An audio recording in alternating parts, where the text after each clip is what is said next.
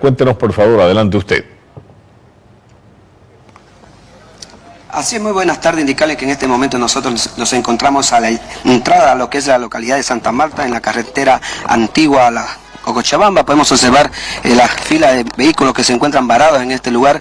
En el primer bloqueo nosotros nos encontramos en este momento, vamos a comenzar con los vecinos, ellos están pidiendo que pare el tráfico de tierra, es lo que han manifestado. Y hay otro grupo de, personas, eh, conductores que se encuentran perjudicados, que también están pidiendo poder pasar.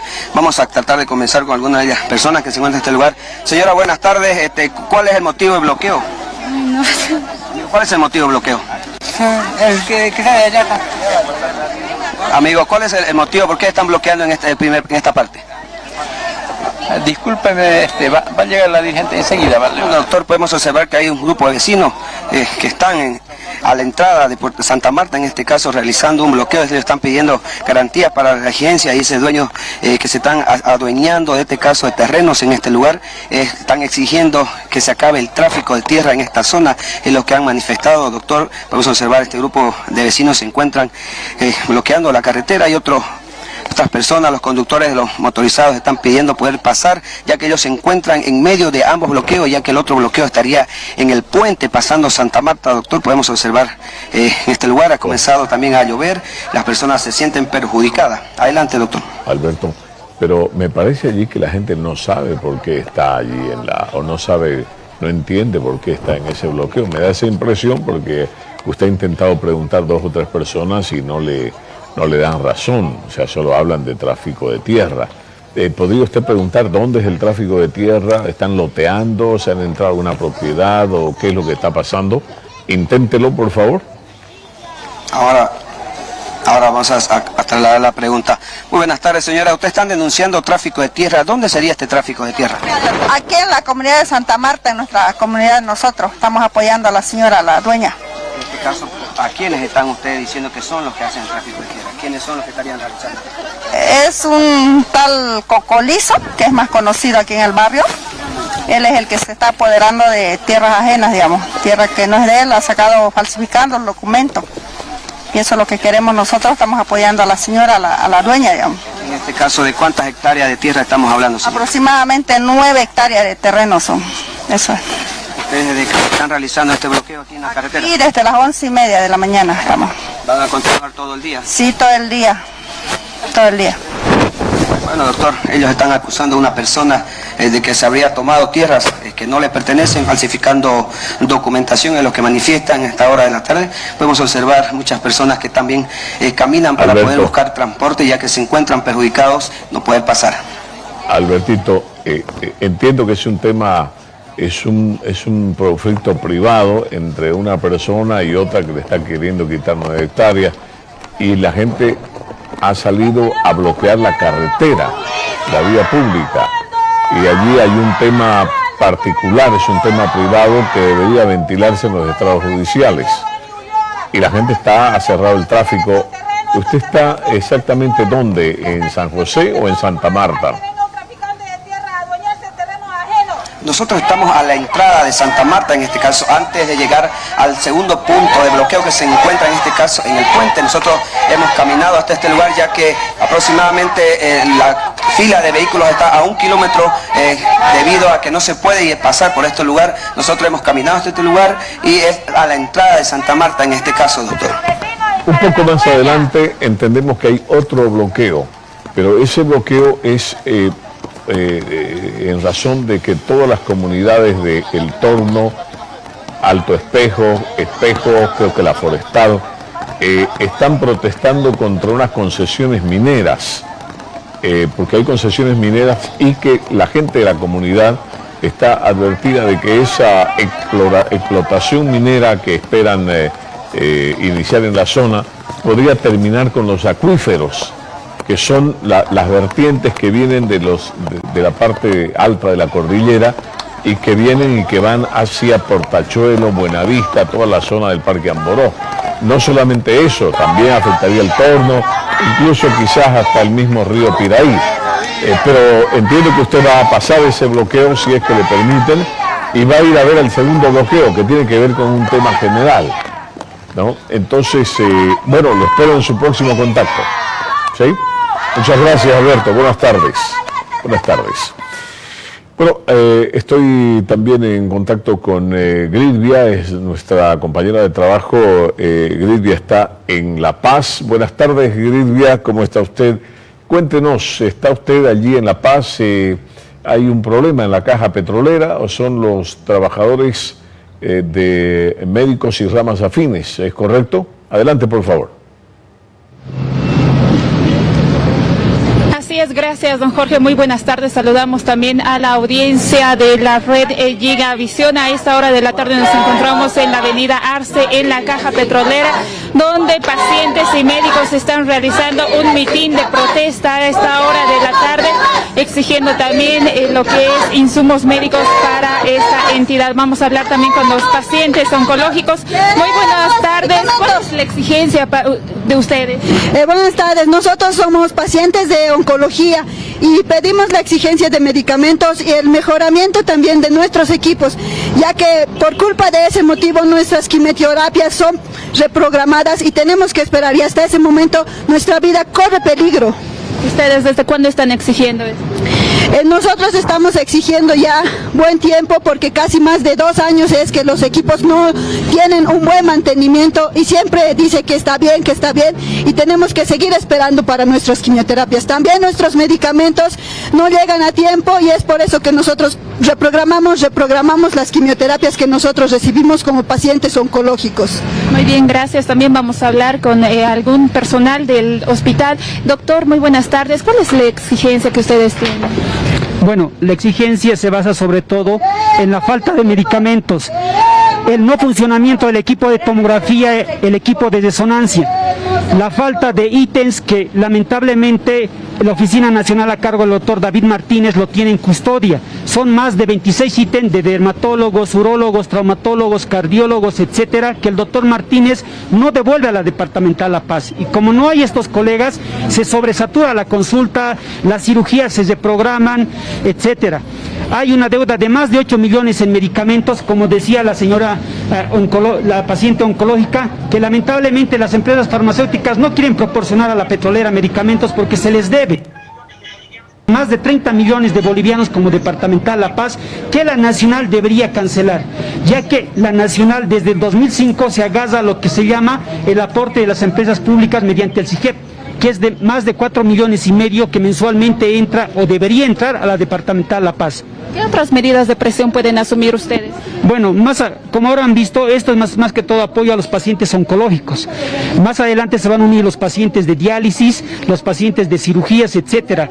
Quiero que entienda el doctor Martínez y el doctor Delgado, que es el administrador departamental La Paz, que esto no es un movimiento político, no es un movimiento de los médicos, es un movimiento de los pacientes que requieren medicamentos, que requieren que funcionen sus equipos de diagnóstico, que requieren ítems. Es por eso que los médicos vamos a seguir movilizándonos. Muy bien, le agradezco y bueno, de esa manera es que se está llevando a cabo este mitin de protesta en la caja petrolera, esto en la ciudad de La Paz, exigiendo una buena administración de esta entidad. También los pacientes oncológicos estaban pidiendo el buen funcionamiento de los equipos, además de insumos médicos. Con este informe volvemos a este estudios. Muchas gracias, Grelia, muy amable, gracias, muy gentil. Volvemos en cualquier momento con usted. Eh, Alberto. Eh, ya está usted en el otro bloqueo, ¿no? Todavía. A ver, eh, cuéntenos, eh, Alberto, cuéntenos, ¿de qué se trata?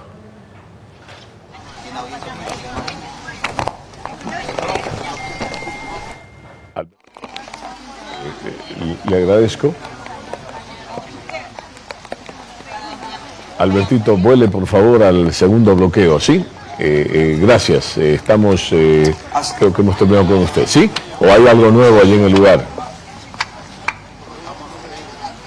Bueno, doctor, no, continúa aquí el bloqueo. Nosotros nos vamos a trasladar hasta el otro punto que está más o menos aproximadamente un kilómetro en el puente, la entrada de Santa Marta. Vamos a trasladarnos a este lugar para un próximo contacto.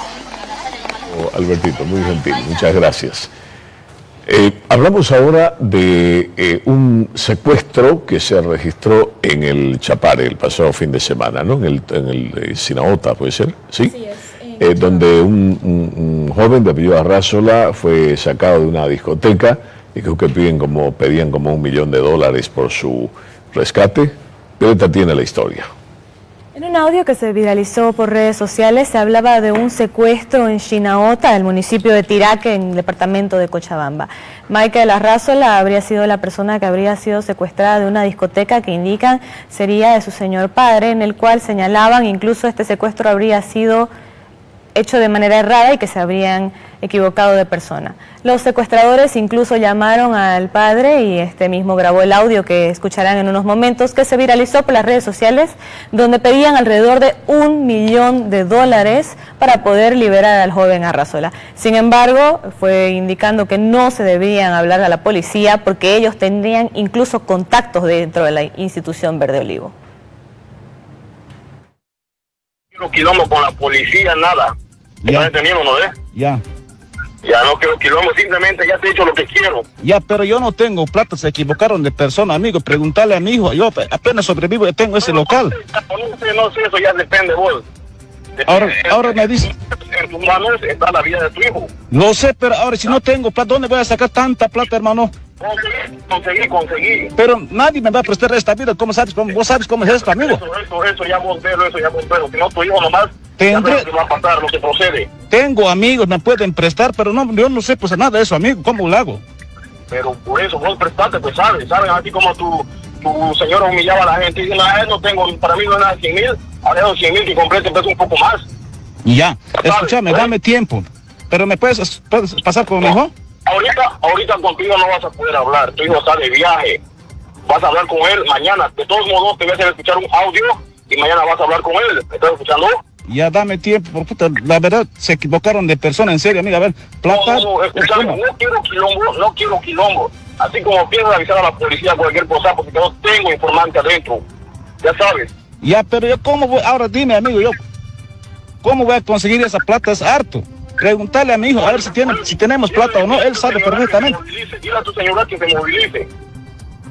A mí no me veas con la cara de pendejo. No te estoy viendo, yo solamente estoy siendo sincero. esa plata, ¿dónde voy a sacar? A ver, dime, amigo. Ya, ya. ¿Y según tú cuánto puedes conseguir? ¿Cuánto? Es que yo no, no, no, en la mano no tengo, ¿sabe? Mi hijo. Él te va, yo creo que ya la... Ya... ¿Cuánto puedes conseguir?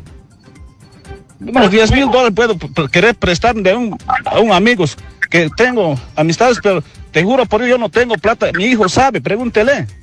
Es que se equivocaron de persona, pero yo me mantengo con ese local que tengo, amigo. No, escúchame, ya sabes lo que quiero.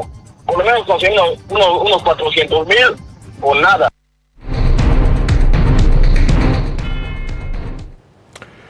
Bueno, en las redes sociales el padre difundió un video en el que con lágrimas le pide a los secuestradores que le entreguen a su hijo y que además eh, les asegura que se han equivocado, que él no es la persona indicada porque no tiene dinero. Juan Carlos Azázola, padre de mi hijo Michael Azázola, que, lo, que anoche pasó un secuestro. Llegaron a mi casa cinco personas encapuchadas y se lo llevaron bien armados y todo eso ah, se lo llevaron. Y luego me, me, hacen una llamada con un rescate de un millón de dólares, que algo que yo no conozco. ¿De dónde tanta plata? Y dije, yo pienso que se ha equivocado de persona y y no sé, es harta plata. Yo les rogaría al señor ministro, por favor, ayúdeme con esto, a encontrar al comandante regional de la policía, fiscalía. Por favor, les rogaría, así no saben qué momento me está pasando esto a mí.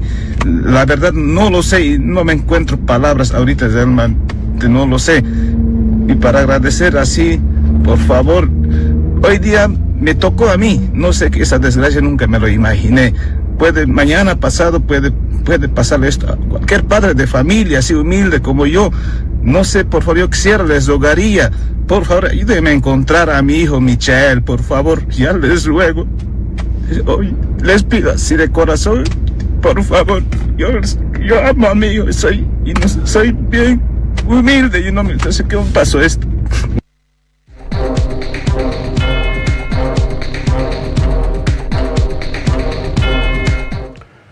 El director nacional de la FELCC eh, dio a conocer luego que después de varios operativos de grupos especiales en el Chapare, los secuestradores posiblemente se sintieron acorralados, dice, y dejaron en libertad al hijo del dueño de la discoteca, eh, estamos hablando de Michael Arrazola, eh, lo dejaron en la carretera hacia Bulobulo, luego de haber estado encerrado más de 24 horas. La policía sigue buscando las pistas y espera lograr con mayores elementos de juicio para identificar a esta banda de secuestradores, dijo el jefe policial. Persona había sido secuestrada prácticamente del negocio de, su padre, que es un, uh, un, karaoke y discoteca al mismo tiempo, y debido a ello es de que se ha extremado y se ha conformado un equipo de crisis para realizar el trabajo en diversos sectores que posiblemente esté esta persona. Eh, no nos olvidemos que un secuestro siempre se trata de buscar un lugar seguro. Nosotros teníamos que encontrar ese lugar seguro donde esta persona estaba privada de libertad por sus captores y al mismo tiempo eh, supuestamente esta persona estaba siendo golpeada y maltratada. Debido a que este trabajo que se ha realizado y los cercos que se han ido realizando, esta persona ha sido puesta en libertad hoy en horas de la madrugada, aproximadamente entre las cuatro y media de la mañana, que han recibido la noticia los padres y el equipo se ha movilizado para ir hasta Bulo Bulo, entrarlo en la carretera y, y traerlo de retorno a su hogar, que él está haciendo su revisión médica para uh, corroborar lo que él nos indicaba y las lesiones que pueda tener. Y debido a ello también que se le va a tomar una declaración informativa y vamos a, a tratar de extraerle los datos que nos puedan colaborar y corroborar para poder dar con el lugar donde él se encontraba y asimismo dar con los captores. Bueno, dentro de algunos operativos que ha realizado la FELGENE se han realizado algunos arrestos que se presumían que tenían contacto y relación con este, con este hecho y se ha ido descartando por esas personas arrestadas.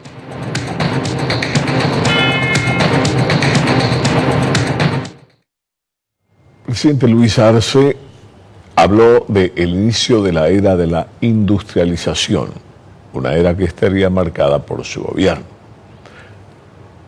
El diputado Héctor Arce, del ala de vista, dice que la era de la industrialización la inició Evo Morales. Cuando regresemos, los detalles. La década de los 60 dividió los países industrializados de los no industrializados. Bolivia inició su largo camino hacia la industrialización con decisiones estratégicas. En menos de dos años de gobierno, garantizamos los recursos y estamos construyendo 43 plantas industriales. Para consolidar la industrialización en Bolivia, había que tener en nuestras manos un componente básico, la química básica.